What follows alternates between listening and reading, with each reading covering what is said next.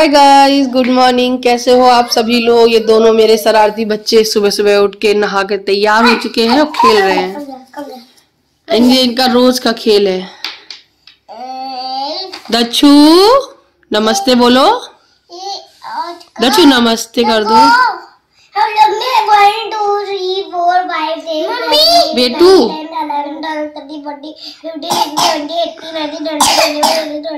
तो नमस्ते करो। नहीं करेगा। ओ चलो आजा तुम नमस्ते करो तो वो भी करेगा। नमस्ते दोस्तों चलो करो करो जय।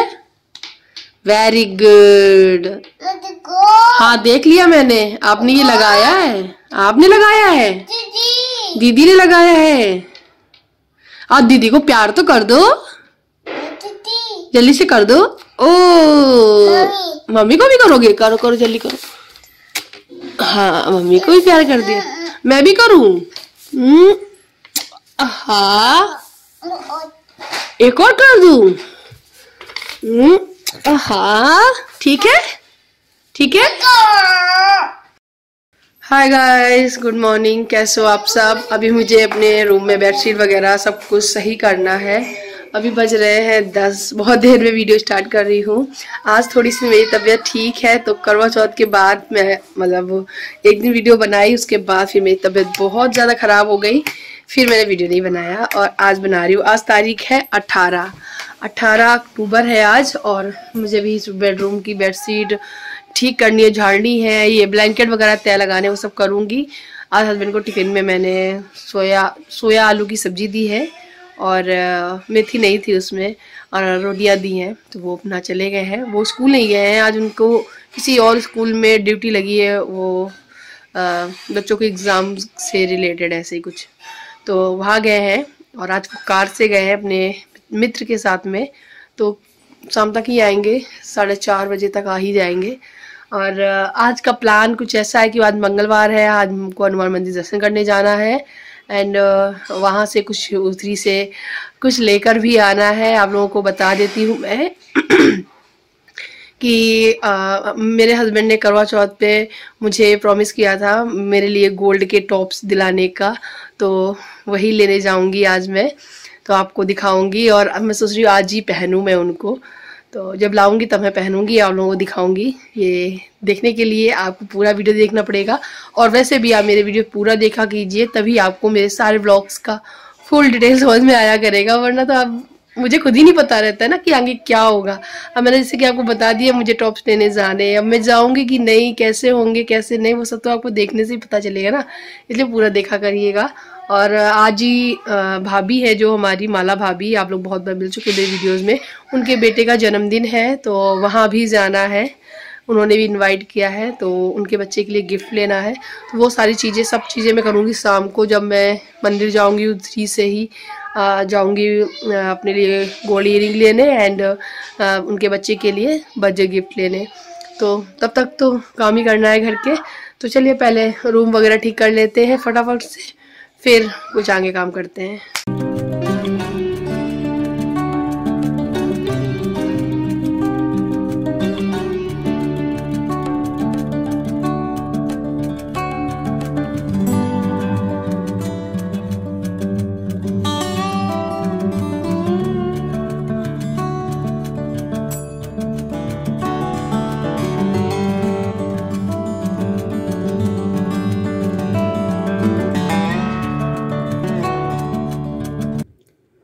गाइज़ आप देख सकते हो, ये बैग ना काफ़ी दिन से रखा हुआ, लगा हुआ आप लोगों को पता है, हम लोग कहीं जाने वाले हैं, लेकिन अभी अभी कुछ प्लान बन नहीं पाया है, जिस वजह से अभी ये बैग लगा हुआ रखा ही है।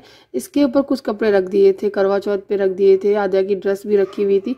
मतलब मैं बीमार हुई तो ये सारी चीज़ें उठाने का बिल्कुल भी मतलब मुझे लगा ही नहीं, होश ही नहीं था, ऐसी इतनी ज़्यादा बीमार हो गई थी।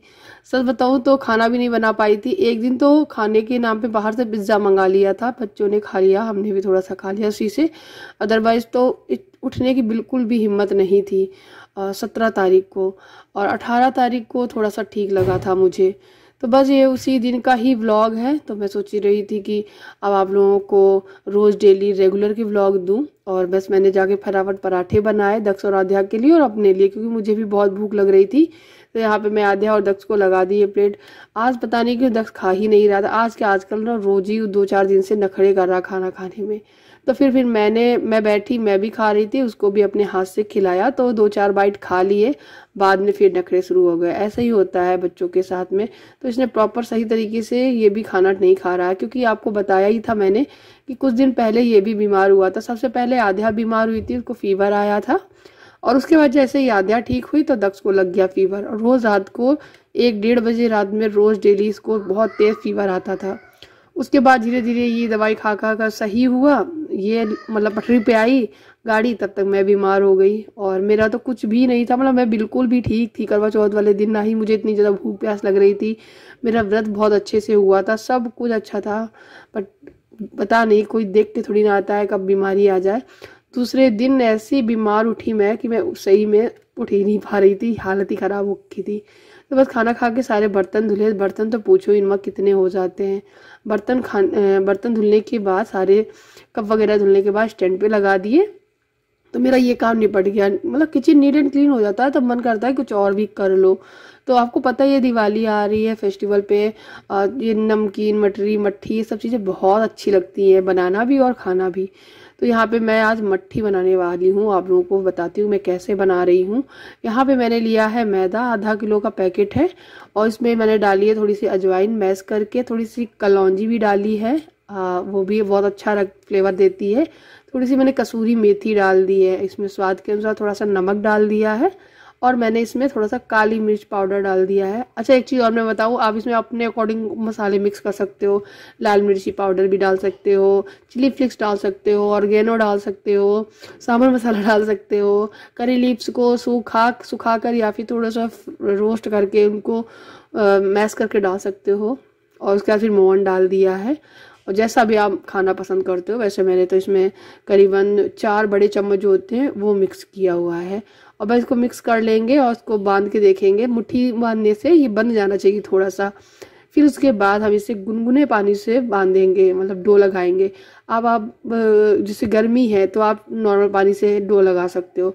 आपको पता है थोड़ी ठंडक स्टार्ट हो चुकी है तो आटा ना अगर गुनगुने पानी से गूँथेंगे ना तो वो थोड़ा सा टाइट गूँथेगा और जल्दी गूँथ जाएगा। तो बस फटाफट से आटा गूँथ लिया, ये मैदे का डो लगा दिया है। अब मैं इसको रेस्ट करने रखूँगी करीबन 10 से 15 मिनट के लिए। तब तक ये रेस्ट करेगा। उसके बाद मैं इसे बनाऊँगी मट्ठी। हे गाइस तो मैं मैदा लगा के रखा ही हूँ थोड़ी देर रेस्ट करने के लिए। मैं जब रूम में आई तो रूम की हालत देखो, ये दस इस डलिए से सारे कपड़े निकाल के इसके ढक्कन में रख रहा है। पता नहीं क्यों इसको जैसे मज़ा आ रहा है।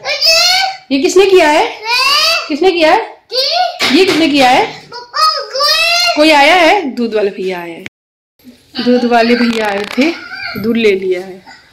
रूम का ना तहस नहस कर रखा है बच्चों ने।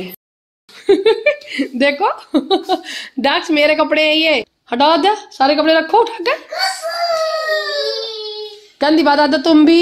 गंदी बात। ये सारे मेरे कपड़े प्रेस करने को हैं। लाओ जल्दी से। सब मैं रखू यहाँ पे।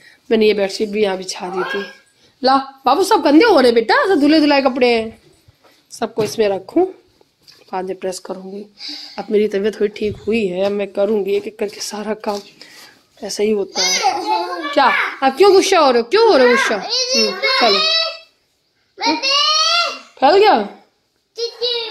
बस हो गया आद्या का स्टैंड ठीक है? चलो। बंद करो इसको ढक्का लगाओ इसका। ये ये इसका ढक्कन लगाओ लगाओ। हम्म, मिक्की लेके आओ इसका मिक्की रखो इसके ऊपर। उठाओ मिक्की। लेके आओ इसके तो कान पकड़ के उखाड़ दिए। दिखाओ देखो इसके इसके कान दिखाती हूँ मैं आपको। ये। देखो ये थोड़ा दिया। मैंने दक्ष के लिए लिया बैठा भी नहीं बड़ा हो गया। सो so गाइज़ अभी ये शाम का टाइम हो रहा है। मैंने मट्ठी बना ली है और चाय के साथ में पीने जा रही हूँ। इसकी फुल रेसिपी मैं कल सोच रही हूँ शेयर करूँ, क्योंकि आज का वीडियो बहुत लंबा हो रहा था तो कल मैं आपको अपनी ज्वेलरी भी दिखाऊँगी। मैं जो लेकर आई ही, आई थी मार्केट भी गई थी, क्या हुआ था, सब कुछ कल देखने को मिलेगा। वेट करना।